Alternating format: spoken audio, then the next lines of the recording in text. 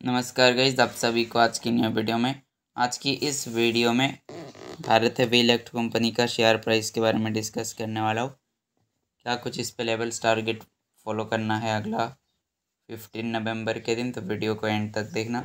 जैसे कि गईज मैंने आप लोगों को बताया था कल की वीडियो में कि स्टॉक यहाँ से एक अप ट्रेंड को कंटिन्यू करेगा अच्छा खासा तेज़ी स्टॉक पर देखने को मिल सकता है, क्योंकि स्टॉक यहाँ से अगर देखोगे लॉन्ग टाइम से एक अच्छा खासा आप ट्रेंड को कंटिन्यू कर रहा था यहाँ तक चढ़ा।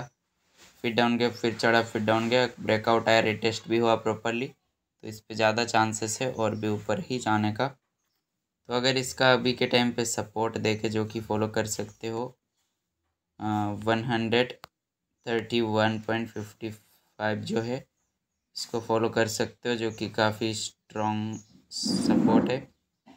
रेजिस्टेंस जो आप लोग पहला फॉलो कर सकते हो, वो है one hundred forty point fifty five अगला फॉलो कर सकते हो one hundred forty seven point thirty तो ओवरऑल अगर देखा जाए तो ज़्यादा चांसेस है स्टॉक आप जाने का और भी काफ़ी अच्छा खासा सारे लेवल्स पे फॉलो कर सकते हो।